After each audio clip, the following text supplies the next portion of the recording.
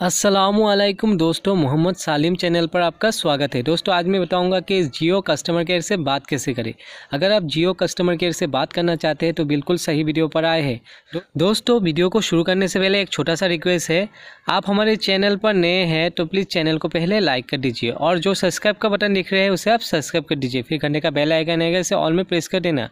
और comment box में यहाँ आपको जियो कस्टमर केयर करके एक प्यारा सा कमेंट कर देना है। तो दोस्तों चलिए हम अपना वीडियो शुरू करते हैं। दोस्तों इसके लिए आपके मोबाइल को ऑन करना होगा।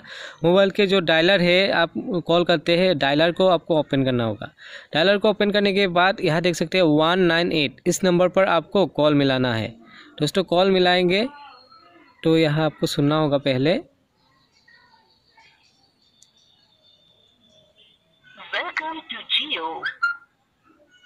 दोस्तों आप अभी आपको सुनना होगा। वर्तमान डेटा बैलेंस जीबी है, जो आपके दो।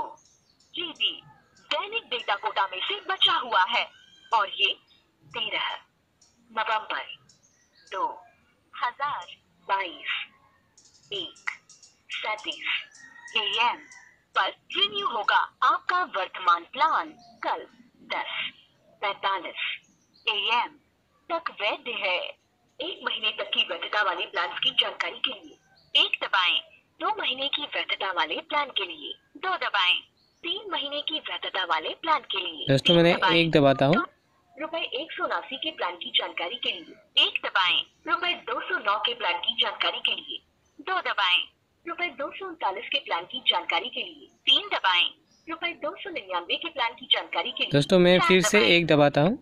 एक सौ उनासी रूपए के प्लान से रिचार्ज करें और पाए रोज़ाना एक जीबी हाई स्पीड इंटरनेट असीमित रोज़ाना सौ एस एम एस और जियो एप्स का निःशुल्क सब्सक्रिप्शन इस प्लान की वैधता चौबीस दिनों के लिए है।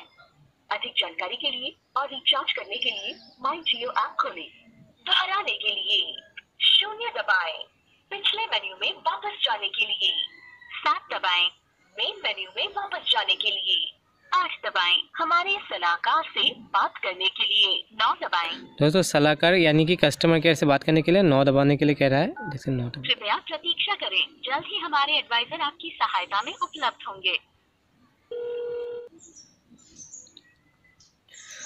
दोस्तों ऐसे ना कॉल फिर आपको इंशाल्लाह लग जाएगा। फिर आप कस्टमर केयर आपको बोलेगा कि आपका प्रॉब्लम क्या है। तो ऐसे आप अपना, अपने जियो कस्टमर केयर से आप कॉल लगा सकते हैं और बात कर सकते हैं। तो उम्मीद करता हूँ वीडियो आपको अच्छा लगा होगा और अच्छा लगा तो अपने दोस्तों को शेयर ज़रूर करना। तो फिर मिलेंगे इन अगले नए वीडियो के साथ।